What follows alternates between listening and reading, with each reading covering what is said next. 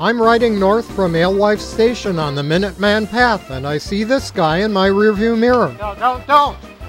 Don't! Some people imagine that the whole world is their own personal Tour de France. Hey, poser, did you ride the same way among the 30,000 other cyclists on the New York City five borough bike tour? How about saving your speed workout for the open road?